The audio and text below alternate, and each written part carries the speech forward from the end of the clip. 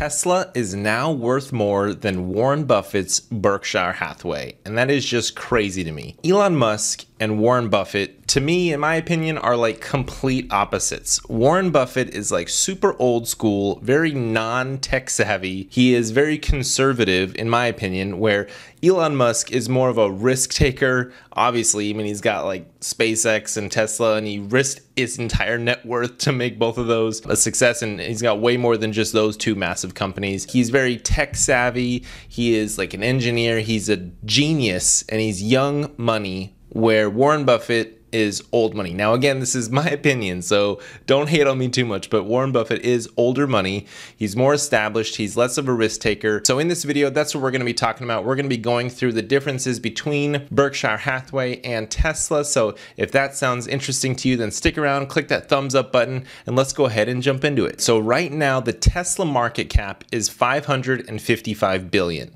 Now, I'm shooting this on a Saturday, November 28th, but on Friday, when we had like a half day of trading, the Tesla market cap reached 567 billion as its all-time high and then pulled back a bit. So now we're looking at 555 billion for the Tesla market cap. Berkshire Hathaway's market cap is 542 billion.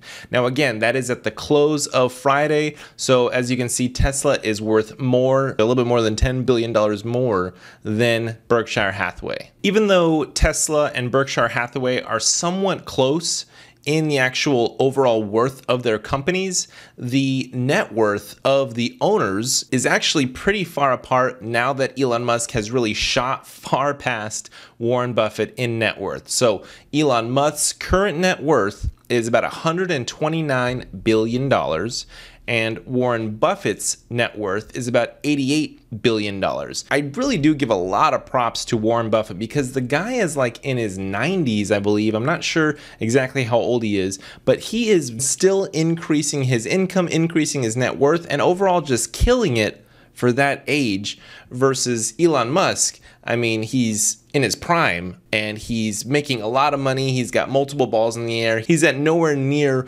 retirement age where Warren Buffett is clearly like all up in retirement age. So Warren Buffett, man, big props to you for for just killing it in your retirement age. I really hope that I still have the energy to be doing business and making significant increases in income when I'm in my 80s or even my 90s. All right, so I just did a quick Google search, and Warren Buffett was actually born August 30th, 1930. So he just turned 90 years old just a few months ago.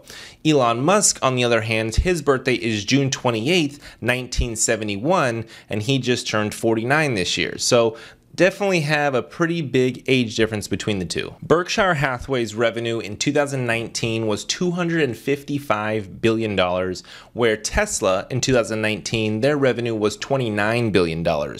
So about a tenth Tesla did about a tenth of the revenue that Berkshire Hathaway did, but they are actually valued substantially more than Berkshire Hathaway. So that's pretty interesting. If we look at the two companies' assets, Berkshire Hathaway's assets is about 425 billion and Tesla's assets is about 6.6 billion. So a massive difference there in assets, but it makes sense that Berkshire Hathaway's assets are way more because they are an investment company and basically their assets are ownership, cash, stocks, all that kind of stuff that uh, is meant to make money on top of itself. So you could kind of say that Berkshire Hathaway's entire business model is their assets versus Tesla, not so much. Now, as far as year to date overall growth, Berkshire Hathaway is up about 2% year to date, and Tesla is up about 500% year to date. So during this year, obviously, we've had a very rocky year for a lot of businesses and the downfall of a lot of businesses' stock price, and then it's swinging back up. So Berkshire Hathaway was definitely a victim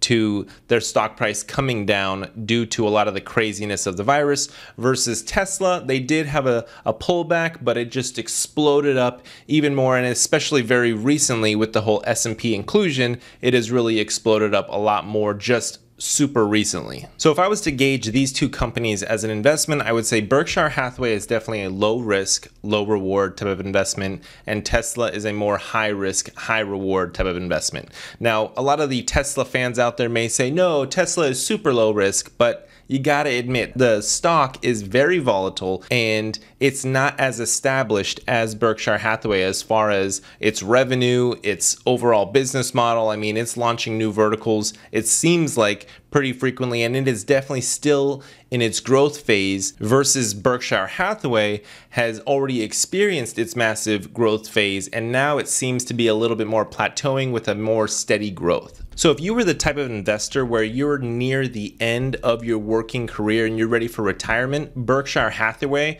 may be a better investment for you in your retirement portfolio versus if you are just starting out in your working career and maybe you are in your 20s or 30s and you have a lot of time left to work and build your retirement portfolio, then maybe Tesla is a better investment for you because it's going to have more time to mature. And over these next 10, 20 years, I really think that Tesla is going to go very far. It really could be comparable to Amazon with a trillion dollar market cap, comparable to Apple. It could be really ruling this world along the giants.